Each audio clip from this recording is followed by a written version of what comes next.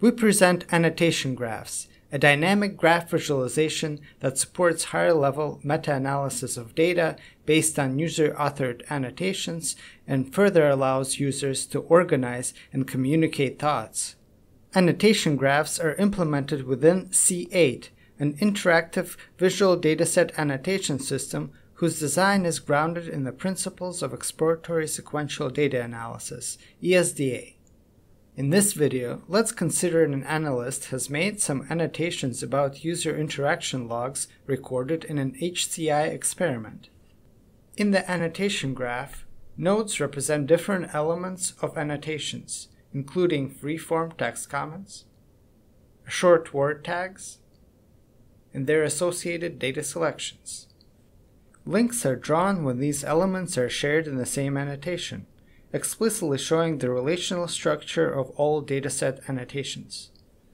The annotation graph provides three layout methods, including the projection plot, the slice plot, and the circular plot.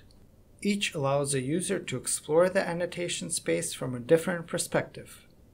The projection plot positions nodes based on a global optimization of pairwise similarity between all nodes, resulting in a similar comments tags, and selections clustering closer together. The slice plot groups the nodes by type before using the similarity calculation to position nodes along the vertical axis, clearly showing links across different types of nodes. The circular plot positions nodes based on similarity to a particular node of interest that is positioned at the center. This supports interactive exploration of pairwise similarity between nodes. The annotation graph supports a mixed initiative approach for computing the layout.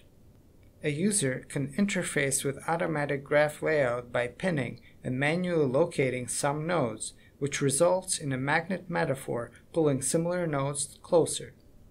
Nodes can also be grouped to reflect the unified concept, as well as filtered, and searched according to a user's exploration we conducted an iterative user-centered design of the annotation graphs with three HCI researchers who are interested in a range of datasets, including mid-air trajectories of pointing targets on a tabletop, multi-touch finger events on a trackpad, and finger chording gestures on a trackpad.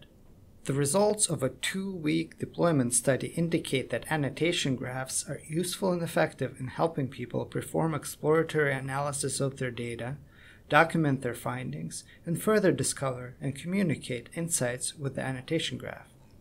There were several emerging insights identified, and the researchers were able to use the annotation graph to explain them to us. The first researcher discovered some correlations between the pointing direction and the curvature and spreadness of the trajectories. The second researcher positioned tags into three sections physical contacts on the left gestures at the bottom, and activities at the right, and revealed groups of data selections related to these concepts. The third researcher created an ad hoc semantic space by locating chord frequency tags horizontally and chord hand usage tags vertically, and identified clusters of finger chording gestures in the space. The results of the deployment study show that the annotation graph is a flexible method of representing annotations abstractly. It can facilitate meta-analysis of data from user-authored annotations in a playful and creative manner.